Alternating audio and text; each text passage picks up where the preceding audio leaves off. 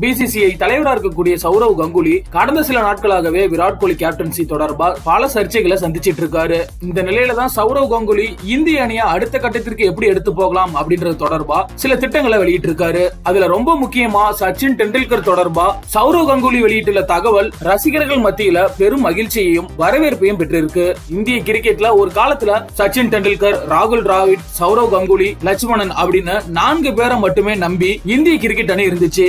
அதுல இப்ப ராகுல் டிராவிட் இந்திய அணியோட பயிற்சியாளரா இருக்காரு. ராகுல் டிராவிட்டோட பங்களிப்பு பெருமளவுல இந்திய அணிக்கு உதவியா இருக்கு. சௌரவ் கங்குலியை பொறுத்தளவுக்கு பிசிசிஐயின் தலைவரா இருக்காரு. பி வி எஸ் லட்சுமணனை பொறுத்தளவுக்கு தேசிய கிரிக்கெட் அகாடமியோட இயக்குனரா நியமிக்கப்பட்டிருக்காரு. இதனால அங்க பிராக்டிஸ் பண்ற எல்லா பிளேயர்களையும் பாத்துக்கிற வாய்ப்பு விவிஎஸ் லட்சுமணனுக்கு கிடைச்சிருக்கு. அது மட்டும் இல்லாம ஏற்கனவே கும்ப்ளே பயிற்சியாளராகவும் இருந்தாரு. ஆனா சச்சின் தான் இதுவரைக்கும் பெரிய பொறுப்புலயே இல்ல. இது தொடர்பான கேள்விக்கு கங்குலி இப்ப பதில் சொல்லியிருக்காரு. இதற்கு சௌரவ் கங்குலி என்ன பதில் சொல்லியிருக்காரு அப்படின்னா சச்சினுக்கு இந்தியா டீம்ல மிகப்பெரிய பொறுப்பு காத்துட்டு இருக்கு சச்சினை எந்த அளவுக்கு யூஸ் பண்ணலாம் அப்படிங்கறத பத்தி யோசிச்சு நல்லாவே முடிவெடுத்திருக்கோம். ரொம்பவே சீக்கிரமா சச்சினோட பங்களிப்பை நீங்க பார்க்க போறீங்க அப்படின்னு சொல்லி சௌரவ் கங்குலி சூப்பரான ஒரு நியூஸ கொடுத்திருக்காரு. இது சச்சின் ரசிகர்கள் மட்டும் இல்லாம ஒட்டுமொத்த இந்திய ரசிகர்களுமே பெரும் வரவேற்பு கொடுத்திருக்காங்க.